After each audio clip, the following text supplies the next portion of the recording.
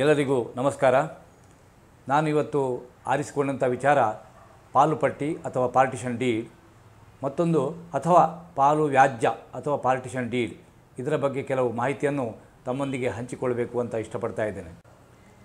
ಪಾಲ್ಪಟ್ಟಿಯನ್ನು ಮಾಡಬೇಕು ಅಂತೇಳಿ ಆದರೆ ಯಾವ್ಯಾವ ಅಂಶಗಳನ್ನು ಗಮನದಲ್ಲಿ ಇಟ್ಟುಕೊಳ್ಳಬೇಕು ಅನ್ನೋದನ್ನು ನಾನು ನಿಮಗೆ ತಿಳಿಸ್ಲಿಕ್ಕೆ ಬಯಸ್ತಾ ಇದ್ದೇನೆ.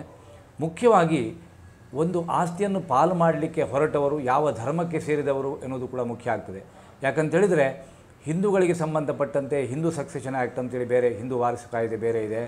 ಅದೇ ರೀತಿ ಈ ಕ್ರೈಸ್ತರಿಗೆ ಸಂಬಂಧಪಟ್ಟಂತೆ ಇಂಡಿಯನ್ ಸಕ್ಸೆಷನ್ ಆ್ಯಕ್ಟ್ ಅಂತೇಳಿದೆ ಮುಸಲ್ಮಾನರಿಗೆ ಸಂಬಂಧಪಟ್ಟಂತೆ ಇಸ್ಲಾಮಿಕ್ ಲಾ ಅಂತೇಳಿದೆ ಆದ್ದರಿಂದ ಮೃತ ವ್ಯಕ್ತಿಯ ಒಂದು ವಾರಿಸ್ದಾರು ಯಾರು ಬರ್ತಾರೆ, ಯಾರ್ಯಾರು ಆಗ್ತಾರೆ ಎನ್ನುವುದನ್ನು ನಿರ್ಧಾರ ಮಾಡಲಿಕ್ಕೆ ಆ ವ್ಯಕ್ತಿ ಯಾವ ಧರ್ಮಕ್ಕೆ ಸೇರಿದವನು ಎನ್ನುವುದನ್ನು ಮೊದಲು ನಾವು ಪರಿಗಣಿಸಬೇಕಾಗ್ತದೆ.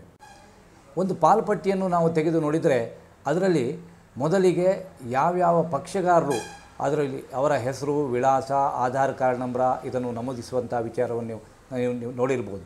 ಯಾಕಂತೇಳಿದರೆ ಯಾವ ಯಾವ ವ್ಯಕ್ತಿಗೆ ಆ ಸ್ಥಿರಾಸ್ತಿಗಳಲ್ಲಿ ಹಕ್ಕು ಇದೆ ಅಂಥವರನ್ನು ಮೊದಲು ಅವರನ್ನು ಪಕ್ಷಗಾರರನ್ನಾಗಿ ಮಾಡಬೇಕು.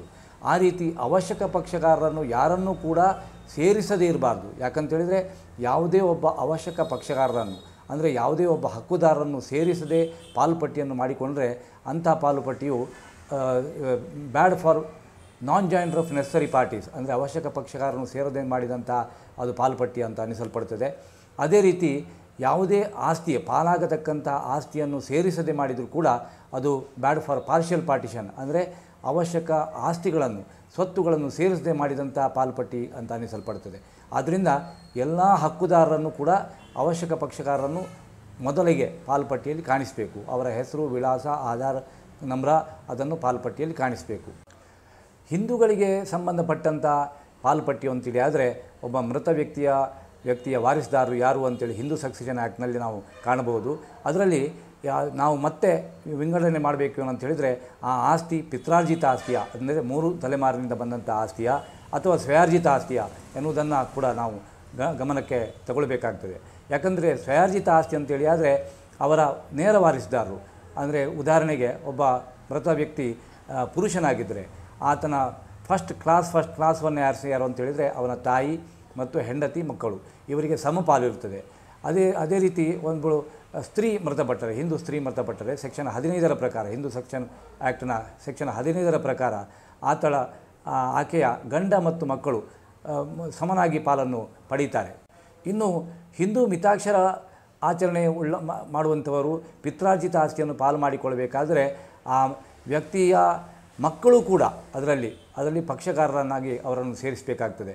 ಆದ್ದರಿಂದ ಮತ್ತೆ ಇನ್ನೊಂದು ಮುಖ್ಯವಾಗಿ ನೋಡಬೇಕು ಅಂತ ಹೇಳಿದರೆ, ಅದರಲ್ಲಿ ಯಾರಾದರೂ ಮೈನರ್ ಇದ್ದರೆ ಮೈನರ ಪರವಾಗಿ ಯಾರು ಗಾರ್ಡಿಯನ್ ಅವರು ಭಾಗವಹಿಸ್ತಾರೆ ಗಾರ್ಡಿಯನ್ ಆಗಿ ತಂದೆಯನ್ನು ಕಾಣಿಸಬೇಕು. ತಂದೆ ಇದ್ದರೆ ತಂದೆಯನ್ನೇ ಕಾಣಿಸಬೇಕು. ತಂದೆ ಇಲ್ಲದ ಪಕ್ಷದಲ್ಲಿ ತಾಯಿಯನ್ನು ಗಾರ್ಡಿಯನ್ ಆಗಿ ಕಾಣಿಸಿ, ಆ ಪಕ್, ಪಕ್ಷಗಾರನ್ನಾಗಿ ಪಾಲ್ಪಟ್ಟಿಯಲ್ಲಿ ಸೇರಿಸಬೇಕು. ಇನ್ನು ಈ ಜೈನರಲ್ಲಿ ಅಥವಾ ಬಿಲ್ಲವಸ್, ಹಳೆಯ ಸಂತಾನಿಗರಲ್ಲಿ, ಅವರು ಪಾಲ್ಪಟ್ಟಿ ಮಾಡುವಾಗ ಕೂಡ ಅದು ಹಳೆಯ ಸಂತಾನ ಕುಟುಂಬದ ಆಸ್ತಿಯ ಅಥವಾ ಸ್ವಯಾರ್ಜಿತ ಆಸ್ತಿಯ ಎನ್ನುವುದನ್ನು ಕೂಡ ನಾವು ಗಮನಕ್ಕೆ ತೆಗೆದುಕೊಳ್ಬೇಕಾಗ್ತದೆ. ಯಾಕಂತೇಳಿದರೆ ಹಳೆಯ ಸಂತಾನದ ಆಸ್ತಿ ಅಂತೇಳಿ ಆದರೆ ಅದರಲ್ಲಿ ಹೆಣ್ಣು ಮಕ್ಕಳ ಮಕ್ಕಳಿಗೂ ಕೂಡ ಸರ್ ಸಮ ಪಾಲು ಬರ್ತದೆ. ಆದ್ದರಿಂದ ಅವರನ್ನೆಲ್ಲ ಪಕ್ಷಕಾರನಾಗಿ ಮಾಡಬೇಕಾಗ್ತದೆ. ಅದೇ ಆದರೆ ಸ್ವಯಾರ್ಜಿತ ಆಸ್ತಿ ಅಂತೇಳಿ ಆದರೆ ಹಿಂದೂ ಸಕ್ಸೆಷನ್ ಆ್ಯಕ್ಟ್ನ ಪ್ರಕಾರ ಯಾರು ವಾರಿಸಿದಾರರು ಅವರನ್ನು ಪಕ್ಷಕಾರನಾಗಿ ಮಾಡಬೇಕಾಗ್ತದೆ. ಇನ್ನು ಈ ಕ್ರೈಸ್ತ ಮತ್ತು ಮುಸಲ್ಮಾನರಿಗೆ ಸಂಬಂಧಪಟ್ಟಂತೆ ಪಾಲ್ಪಟ್ಟಿಯನ್ನು ಮಾಡಬೇಕು ಅಂತೇಳಿ. ಆದರೆ ಈಗಾಗಲೇ ಹೇಳಿದಾಗೆ ಕ್ರೈಸ್ತರಿಗೆ ಸಂಬಂಧಪಟ್ಟಂತೆ ಇಂಡಿಯನ್ ಸಕ್ಸೆಷನ್ ಆ್ಯಕ್ಟ್ ಅನ್ವಯ ಆಗ್ತದೆ.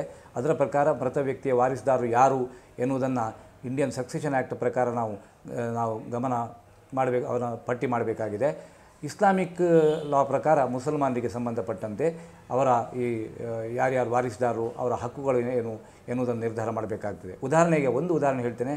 ಕ್ರೈಸ್ತರಲ್ಲಿ ಒಬ್ಬ ಪುರುಷ ಮೃತಪಟ್ಟರೆ ಆತನ ಪತ್ನಿಗೆ ಮೂರನೇ ಒಂದು ಅಂಶದ ಅವಿಭಕ್ತ ಹಕ್ಕು ಇರ್ತದೆ. ಆ, ಉಳಿ, ಉಳಿದ ಮಕ್ಕಳಿಗೆ ಮೂರನೇ ಎರಡು ಅಂಶದಲ್ಲಿ ಗಂಡು ಮತ್ತು ಹೆಣ್ಣು ಮಕ್ಕಳಿಗೆ ಸಮನಾದ ಹಕ್ಕು ಇರುತ್ತದೆ. ಅದೇ ರೀತಿ ಈ ಮುಸ್ಲಿಮರಲ್ಲಿ ಒಬ್ಬ ಗಂಡು ಮುಸ್ಲಿಂ ಪುರುಷ ಮೃತಪಟ್ಟರೆ ಆತನ ಹೆಂಡತಿಗೆ ಎಂಟನೇ ಒಂದು ಅಂಶದ ಹಕ್ಕಿರುತ್ತದೆ ಉಳಿದ ಎಂಟನೇ ಏಳು ಅಂಶದಲ್ಲಿ ಗಂಡು ಮಕ್ಕಳಿಗೆ ಗಂಡು ಮಕ್ಕಳಿಗೆ ಡಬಲ್ ಅಂದರೆ ಹೆಚ್ಚು ಪಾಲು, ಹೆಣ್ಣು ಮಕ್ಕಳಿಗೆ ಕಡಿಮೆ ಪಾಲು, ಅದರ ಅದರ ಅರ್ಧದಷ್ಟು ಪಾಲು. ಈ ರೀತಿ ಒಂದು ವಾರಿಸು ನಿಯಮ ಇದೆ. ಪಾಲ್ಪಟ್ಟಿ ಮಾಡುವ ಪೂರ್ವದಲ್ಲಿ ಏನು ಮೊದಲಿಗೆ ಏನು ಮಾಡಬೇಕು ಅಂತ ಹೇಳಿದರೆ ಒಂದು ಆಸ್ತಿಯನ್ನು ವಿಭಾಗ ಮಾಡಲಿಕ್ಕೆ ಲೆವೆನಿ ಸರ್ವೆ ನಕ್ಷೆಗೆ ನಕ್ಷೆಗೆ ಅರ್ಜಿಯನ್ನು ಕೊಡಬೇಕು. ಒಂದು ಸರ್ವೆ ನಂಬರಕ್ಕೆ ರೂಪಾಯಿ ಎರಡು ಸಾವಿರ ಶುಲ್ಕವನ್ನು ಪಾವತಿಸಿ ಅರ್ಜಿಯನ್ನು ಕೊಟ್ಟು ಕೊಡಬೇಕು. ಅದರಲ್ಲಿ ಒಂದು ಆಸ್ತಿಯನ್ನು ಎಷ್ಟು ಪಾಲು ಮಾಡಬೇಕು? ಒಂದು ಸರ್ವೆ ನಂಬರವನ್ನು ಎಷ್ಟು ಜನರಿಗೆ ಹಂಚಿಕೊಡಬೇಕು? ನಾಲ್ಕು ಪಾಲಾದರೆ ನಾಲ್ಕು ಪಾಲು, ಎರಡು ಪಾಲಾದರೆ ಎರಡು ಪಾಲು. ಈ ರೀತಿ ನಕ್ಷೆಯನ್ನು ತಯಾರಿಸಿಕೊಳ್ಬೇಕು. ಪಾಲ್ಪಟ್ಟಿಯನ್ನು ತಯಾರು ಮಾಡಿ, ಮಾಡುವ ಮೊದಲು ಅದರಲ್ಲಿ ಏನಾದರೂ ಈ ದಾರಿಯ ಹಕ್ಕುಗಳು ಊರ್ಜಿತ ಇಡಬೇಕಾ? ಒಬ್ಬ ಒಂದು ಹಿಸೆ ಆಸ್ತಿಯಿಂದ ಇನ್ನೊಂದು ಹಿಸೆಗೆ ಆಸ್ತಿಗೆ ಹೋಗಿ ಬರುವರೆ ಮಾಮೂಲು ದಾರಿ ನೀರು ಹಕ್ಕುಗಳನ್ನು ಊರ್ಜಿತ ಇಡಬೇಕು ಅಂತೇಳಿ. ಆದರೆ ಅದನ್ನು ಸ್ಪಷ್ಟವಾಗಿ ಪಾಲ್ಪಟ್ಟಿಯಲ್ಲಿ ಬರೆಯೋದು ಒಳ್ಳೆಯದು ಯಾಕಂತೇಳಿದರೆ ಅದು ಮುಂದೆ ಇಲ್ಲದ್ರೆ ಏನಾಗ್ತದೆ ಅಂತ ಹೇಳಿದರೆ ಒಂದು ಒಂದು ಹಿಸ್ಸೆಯಿಂದ ಮತ್ತೊಂದು ಹಿಸ್ಸೆಗೆ ಹೋಗಿ ಬರುವರೆ ಯಾವ ದಿಕ್ಕಿನಿಂದ ಎಷ್ಟು ಅಗಲದ ದಾರಿ ಅಂತೇಳಿ ಸ್ಪಷ್ಟವಾಗಿ ಕಾಲ್ಪಟ್ಟಿಯಲ್ಲಿ ನಮೂದು ಮಾಡಿದರೆ ಮುಂದೆ ಆ ಜಗಳಗಳಿಗೆ ಅಥವಾ ತಕರಾರು ಬರುವಂಥದ್ದು ಸ್ವಲ್ಪ ಕಡಿಮೆ ಆಗ್ತದೆ. ಅದೇ ರೀತಿ ಕೆಲವು ಬಾರಿ ಏನಿರ್ತದೆ ಅಂತೇಳಿದರೆ ಒಂದು ಇಡೀ ಆಸ್ತಿಗೆ ಒಂದೇ ಪಂಪ್ ಸೆಟ್ ಇರ್ತದೆ, ಐದು ಎಚ್ ಪಿ ಪಂಪ್ ಸೆಟ್ ಇರ್ತದೆ ಒಟ್ಟಿಗಿರುವಾಗ ಒಂದೇ ಕಡೆಯಿಂದ ನೀರಾವರಿಯನ್ನು, ನೀರ, ನೀರನ್ನು ಪಡೀತಾರೆ ಆದರೆ ಆ ಆಸ್ತಿ ಪಾಲು ಮಾಡಿಕೊಳ್ಳುವಾಗ ಆ ನೀರನ್ನು ಹೇಗೆ ಹಂಚಿಕೊಳ್ಬೇಕು ಗಂಟೆಗಳ ಪ್ರಕಾರ ಹಂಚಿಕೊಳ್ಬೇಕಾ ಅಥವಾ ದಿನಕ್ಕೆ ಒಬ್ಬರಂತೆ ಹೀಗೆ ಪ ಹಂಚಿಕೊಳ್ಬೇಕಾ ಇದನ್ನು ಕೂಡ ಮೊದಲು ನಾವು ಅದರ ಬಗ್ಗೆ ಆಲೋಚನೆ ಮಾಡಬೇಕಾಗಿದೆ.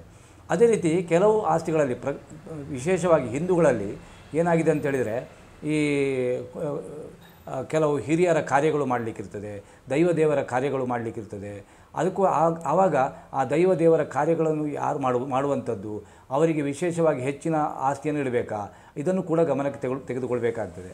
ಯಾಕಂದರೆ ಕೆಲವರು ಬಂದು ನಮ್ಮಲ್ಲಿ ಕೇಳ್ತಾರೆ, ಈ ದೈವಕ್ಕೆ ಸಪ್ರೇಟ್ ಪಾಲಿಡಬೇಕು ಅಂತೇಳಿ. ದೈವ ದೇವರ, ದೇವರಿಗೆ ಸಪ್ರೇಟ್ ಪಾಲಿಡುವಂಥ ಒಂದು ಕ್ರಮ ಇಲ್ಲ. ಆದರೆ ಯಾರು ಅದನ್ನು ಅವರ ವಿ ಅದರ ವಿನಿಯೋಗಗಳನ್ನು ಮಾಡ್ತಾರೆ, ಅವರಿಗೆ ಅದನ್ನು ಪಾಲನ್ನು ಸೇರಿಸಿಕೊಳ್ಬೋದು, ಅಥವಾ ಜಂಟಿಯಾಗಿ ಅದನ್ನು ಆ ಪಾಲನ್ನು ಇಡ್ಬೋದು. ಈ ಆ ರೀತಿಯ ಒಂದು ಶರ್ತವನ್ನು ಸ್ಪಷ್ಟವಾಗಿ ಪಾಲ್ಪಟ್ಟಿಯಲ್ಲಿ ನಮೂದಿಸಬೇಕಾಗ್ತದೆ.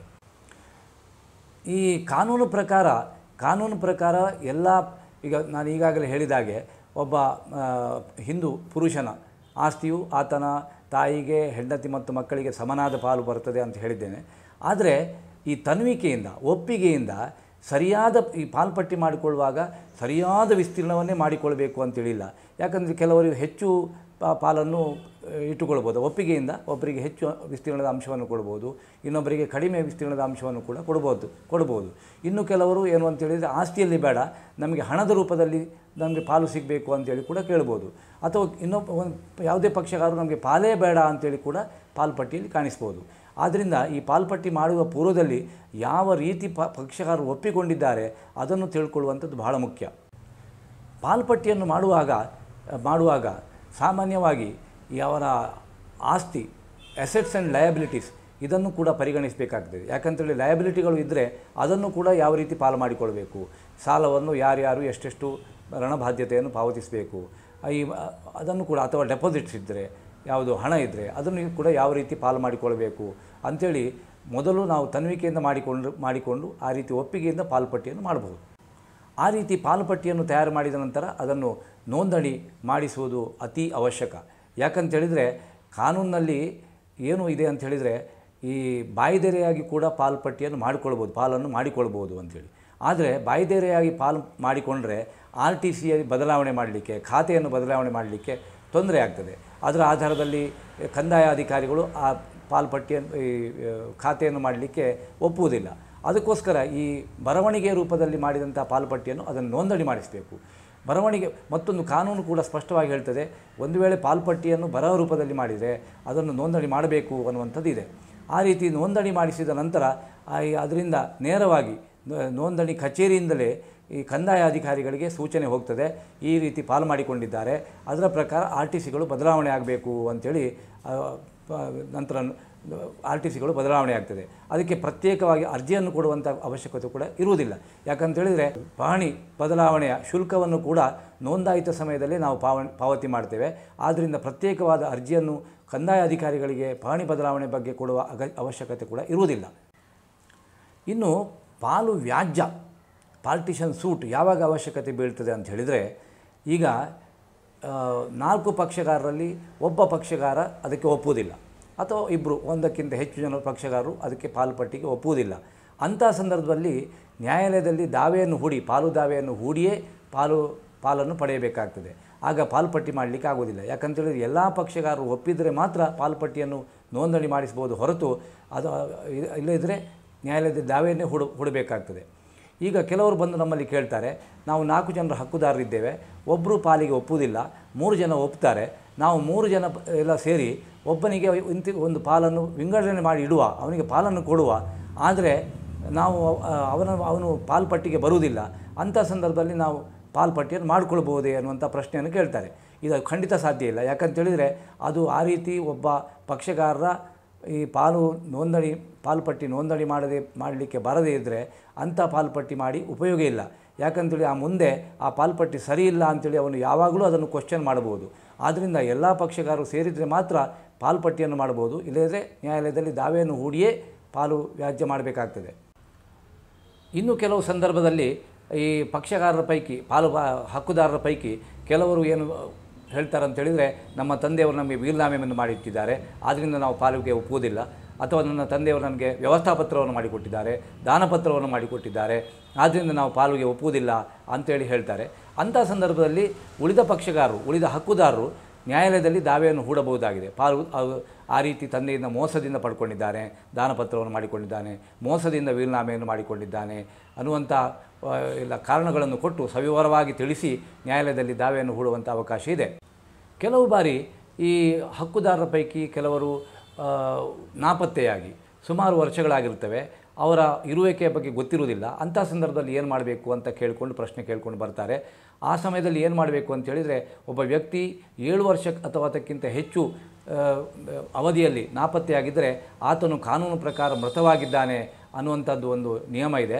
ಆ ಪ್ರಕಾರ ನ್ಯಾಯಾಲಯದಲ್ಲಿ ದಾವೆಯನ್ನು ಹೂಡಿ, ಅವನು ಆ ಕಾನೂನು ಪ್ರಕಾರ ಆ ವ್ಯಕ್ತಿ ಮೃತಪಟ್ಟಿದ್ದಾನೆ ಅಂತೇಳಿ ಘೋಷಣೆಯನ್ನು ಕೇಳಿ ಉಳಿದವರು ಸೇರಿ ಅದನ್ನು ಪಾಲು ಮಾಡಿಕೊಳ್ಳಿಕ್ಕೆ ಅವಕಾಶವನ್ನು ನ್ಯಾಯಾಲಯದಲ್ಲಿ ಕೇಳು, ಕೇಳಲಿಕ್ಕೆ ಅವಕಾಶ ಇದೆ. ಅನ್ಯಥಾ ನೇರವಾಗಿ ಆತ ಪಾಲ್ಪಟ್ಟಿ ಮಾಡಿಕೊಳ್ಳುವಾಗ ಅದರಲ್ಲಿ ಒಕ್ಕಣೆಯನ್ನು ಕಾಣಿಸಿ ಈ ಆ ವ್ಯಕ್ತಿ ಸುಮಾರು ಏಳು ವರ್ಷಕ್ಕಿಂತ ಹೆಚ್ಚು ನಾಪತ್ತೆಯಾಗಿದ್ದಾನೆ ಆತನ ಇರುವ ಬಗ್ಗೆ ಗೊತ್ತಿಲ್ಲ ಅಂತ ಹೇಳಿ ನೇರವಾಗಿ ಪಾಲ್ಪಟ್ಟಿಯನ್ನು ಮಾಡಿಕೊಳ್ಳಲಿಕ್ಕೆ ಆಗುವುದಿಲ್ಲ. ಯಾಕಂತೇಳಿದರೆ ನ್ಯಾಯಾಲಯದಿಂದ ಘೋಷಣೆಯನ್ನು ಪಡ್ಕೊಳ್ಬೇಕಾಗ್ತದೆ, ಲೀಗಲ್ ಡೆತ್ ಬಗ್ಗೆ. ಇನ್ನು ಕೆಲವರು ಪ್ರಶ್ನೆ ಕೇಳ್ತಾರೆ, ನ್ಯಾಯಾಲಯದಲ್ಲಿ ಪಾಲುದಾವೆಯನ್ನು ಹೂಡಿದ್ದರೆ ಎಷ್ಟು ಸಮಯದಲ್ಲಿ ಅದು ತೀರ್ಮಾನ ಆಗ್ತದೆ? ಅಂತೇಳಿ ಪ್ರಶ್ನೆಯನ್ನು ಕೇಳ್ತಾರೆ. ಇಂತಿಷ್ಟೇ ಸಮಯದಲ್ಲಿ ಪಾಲುದಾವೆ ತೀರ್ಮಾನ ಆಗ್ತದೆ ಅಂತ ಹೇಳಲಿಕ್ಕೆ ಆಗೋದಿಲ್ಲ ಯಾಕಂತೇಳಿದರೆ ಒಂದು ಈ ಪಾಲುದಾವೆಯನ್ನು ಸಲ್ಲಿಸಿದ ನಂತರ ಎದುರುವಾದಿಗೆ, ಪ್ರತಿವಾದಿಗೆ ನೋಟಿಸ್ ಆಗ್ತದೆ. ಆ ನೋಟಿಸ್ ಬಂದ ನಂತರ ಆತನಿಗೆ ಪ್ರತಿವಾದ ಪತ್ರ ಸಲ್ಲಿಸಲಿಕ್ಕೆ ಅವಕಾಶವನ್ನು ಕೊಡ್ತದೆ. ಆನಂತರ ಒಂದು ವೇಳೆ ಅದರಲ್ಲಿ ಪ್ರತಿವಾದಿ ಬಂದು ನನಗೆ ವೀಲುನಾಮೆ ಇದೆ, ದಾನಪತ್ರ ಇದೆ ಅಂತ ಹೇಳಿದರೆ ಅದರ ಬಗ್ಗೆ ವಿವರವಾದ ಸಾಕ್ಷ್ಯಗಳನ್ನು ಎರಡು ಕಡೆಯಿಂದ ಪಕ್ಷಗಾರರು ಮಾಡಬೇಕಾಗ್ತದೆ. ಆನಂತರ ವಕೀಲರ ವಾದ ವಿವಾದ ಮಾಡಿ ನಂತರ ಮಾನ್ಯ ನ್ಯಾಯಾಲಯವು ಪ್ರಾಥಮಿಕ ಡಿಕ್ರಿ ಅದು ಫೈನಲ್ ಡಿಕ್ರಿ ಅಲ್ಲ, ಪ್ರಿಲಿಮಿನರಿ ಡಿಗ್ರಿ ಅಂತೇಳಿ ಪ್ರಿಲಿಮಿನರಿ ಡಿಗ್ರಿ ಎನ್ನುವುದನ್ನು ಮಾಡ್ತದೆ. ಅದರಲ್ಲಿ ಪ್ರಿಲಿಮಿನರಿ ಡಿಗ್ರಿಯಲ್ಲಿ ಏನು ಮಾಡ್ತದೆ ಅಂತ ಹೇಳಿದರೆ, ವಾದಿಗೆ ದಾವಾ ಆಸ್ತಿಯಲ್ಲಿ ಎಷ್ಟನೇ ಒಂದು ಅಂಶದ ಹಕ್ಕು ಇದೆ ಪ್ರತಿ ಒಂದನೇ ಪ್ರತಿವಾದಿಗೆ ಎಷ್ಟನೇ ಒಂದು ಅಂಶದ ಹಕ್ಕು ಇದೆ ಆ ರೀತಿ ಎಷ್ಟು ಅಂಶದ ಹಕ್ಕು ಇದೆ ಅನ್ನೋದನ್ನು ಘೋಷಣೆ ಮಾಡುವಂಥ ಒಂದು ಕ್ರಮ ಇದೆ. ಪ್ರಾಥಮಿಕ ಡಿಗ್ರಿ ಆಗುವ ಪೂರ್ವದಲ್ಲಿ ಎಲ್ಲ ಪಕ್ಷಗಾರರು ಪಾಲಿಗೆ ಒಪ್ಪಿದ ಪ ಒಪ್ಪಿದ್ದಲ್ಲಿ ಮಾನ್ಯ ನ್ಯಾಯಾಲಯಗಳಲ್ಲಿ ಕೂಡ ಈ ಜನತಾ ನ್ಯಾಯಾಲಯಗಳಲ್ಲಿ ಅಥವಾ ಲೋಕ ಅದಾಲತ್ನಲ್ಲಿ ಇದರ ಬಗ್ಗೆ ಈ ರಾಜಿ ಅರ್ಜಿಯನ್ನು ಸಲ್ಲಿಸಿ ಅಂತಿಮ ಸಂಕೀರ್ಣ ಡಿಗ್ರಿಯನ್ನು ಮಾಡಿಕೊಳ್ಳಬಹುದಾಗಿದೆ. ಅದು ಬಹಳ ಒಂದು ಒಳ್ಳೆಯ ವಿಧಾನ. ಯಾಕಂತೇಳಿದರೆ ಬಹಳ ಬೇಗ ಒಂದು ಎಲ್ಲರಿಗೂ ನ್ಯಾಯ ಸಿಕ್ಕಿದಾಗ ಆಗ್ತದೆ, ಬೇಗ ಮುಗೀತದೆ. ಅದರ ಪ್ರಯೋಜನವನ್ನು ಕೂಡ ಎಲ್ಲ ಪಕ್ಷಗಾರರು ಒಪ್ಪಿದರೆ ಮಾಡಿಕೊಳ್ಳಬಹುದಾಗಿದೆ. ಈ ಪ್ರಾಥಮಿಕ ಡಿಗ್ರಿಯು ಅಂತಿಮವಾದ ನಂತರ, ಅಂದರೆ ಯಾಕಂತೇಳಿದರೆ ಪ್ರಾಥಮಿಕ ಡಿಗ್ರಿಯ ಮೇಲೆ ಈಗ ಕೆಳಗಿನ ನ್ಯಾಯಾಲಯದಿಂದ ಮೇಲಿನ ನ್ಯಾಯಾಲಯಕ್ಕೆ ಮೇಲ್ಮನವಿ ಸಲ್ಲಿಸುವಂಥ ಅವಕಾಶ ಇದೆ. ಆ ರೀತಿ ಮೇಲ್ಮನವಿ ಸಲ್ಲಿಸಿ ಸಲ್ಲಿಸದೇ ಇದ್ದಲ್ಲಿ ಅಥವಾ ಮೇಲ್ಮನವಿಯಲ್ಲಿ ಅಂತಿಮವಾದ ತೀರ್ಪಾದ ನಂತರ ಆ ಪ್ರಾಥಮಿಕ ಡಿಕ್ರಿಯ ಆಧಾರದಲ್ಲಿ ಫೈನಲ್ ಡಿಗ್ರಿಗೆ, ಅಂತಿಮ ಡಿಗ್ರಿಗೆ ಮತ್ತೆ ಅರ್ಜಿಯನ್ನು ನ್ಯಾಯಾಲಯಕ್ಕೆ ಕೊಡಬೇಕಾಗ್ತದೆ. ಆ ರೀತಿ ಅರ್ಜಿಯನ್ನು ಸಲ್ಲಿಸಿದ ನಂತರ ಮತ್ತೆ ಎದುರುದಾರರಿಗೆ ನ್ಯಾಯಾಲಯದಿಂದ ನೋಟಿಸು ಜಾರಿಯಾಗ್ತದೆ. ಆ ರೀತಿ ನೋಟಿಸ್ ಜಾರಿಯಾದ ನಂತರ ಮಾನ್ಯ ನ್ಯಾ- ನ್ಯಾಯಾಲಯವು ಒಬ್ಬ ಕಮಿಷನರ್, ಅಂದರೆ ಆಯುಕ್ತಕರನ್ನು ನೇಮಕ ಮಾಡ್ತದೆ. ಅಂದರೆ ಎರಡೂ ಪಕ್ಷದವರಲ್ಲ, ಮೂರನೇ ವ್ಯಕ್ತಿಯನ್ನೊಬ್ಬರನ್ನು, ಮೂರನೇ ವ್ಯಕ್ತಿಯ ವಕೀಲರನ್ನು ನೇಮಕ, ಕಮಿಷನರಾಗಿ ನೇಮಕ ಮಾಡ್ತಾರೆ. ಆ ಕಮಿಷನರಿಗೆ ಸಹಾಯ ಮಾಡಲಿಕ್ಕೆ ಸರ್ವೇಯರ ರವರ ಸಹಾಯವನ್ನು ಕೂಡ ಕೊಡಲಾಗ್ತದೆ. ಅವರ ಅನಂತರ ಈ ಕಮಿಷನರ್ ಮತ್ತು ಕೋರ್ಟ್ ಆಯುಕ್ತಕರು ಮತ್ತು ಸರ್ವೆಯವರು ಸ್ಥಳಕ್ಕೆ ಭೇಟಿ ನೀಡಿ ಸ್ಥಳವನ್ನು ಅಳತೆ ಮಾಡಿ ಪಾಲು ಈ ಪ್ರಾಥಮಿಕ ಡಿಗ್ರಿಯ ಪ್ರಕಾರ ಎಷ್ಟು ವಿಭಾಗ ಆಗಬೇಕು ಅಂತೇಳಿ ಆಗಿದೆ, ಆದೇಶ ಆಗಿದೆ. ಅದರ ಪ್ರಕಾರ ಆಸ್ತಿಯನ್ನು ವಿಭಾಗ ಮಾಡಿ ನ್ಯಾಯಾಲಯಕ್ಕೆ ವರದಿಯನ್ನು ಸಲ್ಲಿಸ್ತಾರೆ. ಆ ರೀತಿ ನ್ಯಾಯಾಲಯದ ಆಯುಕ್ತಕರು ವರದಿಯನ್ನು ಸಲ್ಲಿಸಿದ ನಂತರ ಮಾನ್ಯ ನ್ಯಾಯಾಲಯ ಮತ್ತೆ ಪಕ್ಷಗಾರರಿಗೆ ಅದಕ್ಕೆ ಆಕ್ಷೇಪ ಸಲ್ಲಿಸಲಿಕ್ಕೆ ಆಕ್ಷೇಪಗಳು ಏನಾದರೂ ಇದ್ದರೆ ಸಲ್ಲಿಸಬೇಕು ಅಂತೇಳಿ ಅವಕಾಶ ಕೊಡ್ತದೆ. ಒಂದು ವೇಳೆ ಆಕ್ಷೇಪಗಳು ಸಮಂಜಸ ಅಂತ ಕಂಡು ಬಂದರೆ ಅದಕ್ಕೆ ಮಾನ್ಯ ನ್ಯಾಯಾಲಯವು ಯಾವ ರೀತಿ ಪಾಲಾಗಬೇಕು ಅಂತೇಳಿ ತ, ಅಂತಿಮ ಆದೇಶದಲ್ಲಿ ಆದೇಶ ಮಾಡ್ಬೋದು. ಒಂದು ವೇಳೆ ಅದೇ ರೀತಿ ಯಾವುದೇ ರೀತಿಯ ಆಕ್ಷೇಪಗಳು ಇಲ್ಲದಿದ್ದಲ್ಲಿ ಅಂತಿಮ ಡಿಕ್ರಿಯನ್ನು ಮಾಡಬೇಕು ಅಂತೇಳಿ ಮಾನ್ಯ ನ್ಯಾಯಾಲಯ ಆದೇಶ ಮಾಡ್ತದೆ. ಈ ಆದೇಶದ ಆದೇಶವನ್ನು ಅಂತಿಮ ಆದರೆ ಮಾನ್ಯ ನ್ಯಾಯಾಲಯದ ಆದೇಶ ಅಂತಿಮ ಆದರೆ ಆನಂತರ ಸ್ಟ್ಯಾಂಪ್ ಪೇಪರ್ ಕೊಡಬೇಕು ಪ್ರತಿ ಶೇರಿನ ಬಗ್ಗೆ. ಆ ಸ್ಟ್ಯಾಂಪ್ ಪೇಪರ್ನ ಮೇಲೆ ಪೇಪರ್ನ ಮೇಲೆ ಡಿಕ್ರಿ ಡ್ರಾ ಮಾಡಿ ಆನಂತರ ನಮಗೆ ಫೈನಲ್ ಡಿಕ್ರಿ ಸಿಗ್ತದೆ. ಆ ಫೈನಲ್ ಡಿಕ್ರಿಯನ್ನು ಇಟ್ಟು ನಾವು ಫೈನಲ್ ಡಿಕ್ರಿಯನ್ನು ಪಡೆದು ನಾವು ಆರ್ ಟಿ ಸಿ ಬದಲಾವಣೆಗೆ ಅರ್ಜಿಯನ್ನು ಕೊಡ್ಬೋದು. ಈಗ ಮತ್ತೊಂದು ಒಂದು ತೊಡಕು ಏನು ಅಂತ ಹೇಳಿದರೆ, ಈ ಮಾನ್ಯ ನ್ಯಾಯಾಲಯದಿಂದ ಫೈನಲ್ ಡಿಕ್ರಿ ಆದರೂ ಕೂಡ ಈ ಕಂದಾಯ ಇಲಾಖೆಯು ಅದರ ಈ ನಕ್ಷೆಗಳು ನಕ್ಷೆಗಳು ಲೆವೆನಿ ನಕ್ಷೆ ಇಲ್ಲ ಅಂತೇಳಿ ಆದರೆ ಅದರ ಪ್ರಕಾರ ನೇರವಾಗಿ ಆರ್ ಟಿ ಸಿ ಮಾಡುವುದಿಲ್ಲ. ಅದಕ್ಕೋಸ್ಕರ ನಂತರ ಲೆವೆನಿ ನಕ್ಷೆಗೆ ಅರ್ಜಿಯನ್ನು ಕೊಡಬೇಕು. ಲೆವೆನಿ ನಕ್ಷೆಯನ್ನು ಪಡೆದು ಆನ, ಅದು ಫೈನಲ್ ಡಿಗ್ರಿಯನ್ನು ಕೂಡ ಇಟ್ಟು, ಕಾಪಿಯನ್ನು ಇಟ್ಟು ಕೂಡ ನಂತರ R T C R T C ಬದಲಾವಣೆಗೆ ನಾವು ಅರ್ಜಿಯನ್ನು ಕೊಡಬೇಕಾಗ್ತದೆ. ಇದು ವ್ಯತ್ಯಾಸ ಅಂತ ಹೇಳಿದರೆ ನಾವು ಈ ಪಾಲು ಪಟ್ಟಿ ಮಾಡು, ಮಾಡುವಾಗ, ಪಾಲು ಪಟ್ಟಿ ಮಾಡುವಾಗ ಲೆವೆನಿ ನಕ್ಷೆಯನ್ನು ಮೊದಲೇ ಮಾಡಿರ್ತೇವೆ ನಂತರ ಪಾಲು ಪಟ್ಟಿಯಿಂದ ನೇರ ಸಬ್ ರಿಜಿಸ್ಟ್ರಾರ್ ಕಚೇರಿ ಉಪನೋಂದಣಾಧಿ ಕಚೇರಿಯಿಂದ ನೇರವಾಗಿ ಕಂದಾಯ ಇಲಾಖೆಗೆ ಆರ್ ಟಿ ಸಿ ಬದಲಾವಣೆಗೆ ಅಲ್ಲಿ ಸೂಚನೆ ಹೋಗ್ತದೆ. ಆದರೆ ಮಾನ್ಯ ನ್ಯಾಯಾಲಯದಲ್ಲಿ ಆದ ಅಂತಿಮ ಸಂಕೀರ್ಣ ಡಿಕ್ರಿ ಅಥವಾ ಅಂತಿಮ ಡಿಕ್ರಿ ಇದರ ಆದೇಶದ ಪ್ರಕಾರ ನೇರವಾಗಿ ಆರ್ ಟಿ ಸಿ ಆಗುವುದಿಲ್ಲ. ಅದನ್ನು ನಾವು ಡಿಕ್ರಿಯನ್ನು ಇಟ್ಟು ನಾವು ಅರ್ಜಿಯನ್ನು ಕೊಡಬೇಕಾಗ್ತದೆ. ಅರ್ಜಿಯನ್ನು ಕೊಟ್ಟ ನಂತರ ನಂತರ ಕಂದಾಯ ಇಲಾಖೆಯಲ್ಲಿ ಆರ್ ಟಿ ಸಿ ಬದಲಾವಣೆ ಆಗ್ತದೆ. ಇನ್ನೊಂದು ಮುಖ್ಯವಾದ ಅಂಶವನ್ನು ಗಮನದಲ್ಲಿಟ್ಟುಕೊಳ್ಳಬೇಕಾದ್ದು ಏನು ಅಂತ ಹೇಳಿದರೆ, ಈ ಮೈನರ್ಗಳಿದ್ದಾಗ, ಅಂದರೆ ಹದಿನೆಂಟು ವರ್ಷಕ್ಕಿಂತ ಕಡಿಮೆ ವಯಸ್ಸಿನವರು ಪಕ್, ಹಕ್ಕುದಾರರಿರುವಾಗ, ಅವರಿಗೆ, ಈ ಸಫಿಷಿಯಂಟ್ ಶೇರ್ ಅಂದರೆ ಅವರಿಗೆ ಎಷ್ಟು ಸಿಗ್ತದೆ ಅಷ್ಟನ್ನು ಇಡಬೇಕಾಗ್ತದೆ. ಯಾಕಂತೇಳಿ ಒಂದು ವೇಳೆ ಕಡಿಮೆ ಇಟ್ಟಲ್ಲಿ ನಾಳೆ ಅವರು ಪ್ರಾಯಕ್ಕೆ ಬಂದ ನಂತರ ಮೂರು ವರ್ಷದೊಳಗೆ ಆ ಪಾಲ್ಪಟ್ಟಿ ಸರಿಯಿಲ್ಲ ಅಂಥೇಳಿ ಅದನ್ನು ಚಾಲೆಂಜ್ ಮಾಡ್ಬೋದು. ನ್ಯಾಯಾಲಯದಲ್ಲಿ ಚಾಲೆಂಜ್ ಮಾಡಲಿಕ್ಕೆ ಅವಕಾಶ ಇದೆ. ಆದ್ದರಿಂದ minors interest shall be protected, properly protected by giving sufficient share to them.